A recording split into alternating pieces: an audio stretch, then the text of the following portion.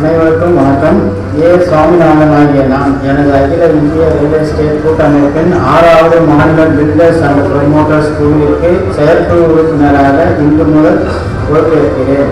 நான் என் தாய் என் தாய்நாட்டிற்கும் வளர்ச்சிக்கும் கட்டுமானம் உள்ளிட்ட ரியல் எஸ்டேட் தொழில் முனைவோரின் முன்னேற்றத்திற்கும் அவர்தம் பாதுகாப்பதற்கும் பேரா கூட்டமைப்பின் சட்ட திட்டங்களுக்கும் உட்பட்டு எந்நாளும் செயல்படுவேன் என உருமாற வருகிறேன் நண்பர்களே இந்த வீடியோ உங்களுக்கு பிடித்திருந்தால் லைக் பண்ணுங்கள் ஷேர் பண்ணுங்கள் மறக்காமல் கமெண்ட் பாக்ஸில் கமெண்ட் பண்ணுங்கள் இந்த சேனலை இதுவரை சப்ஸ்கிரைப் பண்ணாதவங்க உடனே சப்ஸ்கிரைப் பண்ணுங்கள் நோட்டிஃபிகேஷன் உடனுக்குடன் உங்களை வந்தடைய வலதுபுறத்தில் உள்ள பெல் பட்டனை கிளிக் செய்யவும்.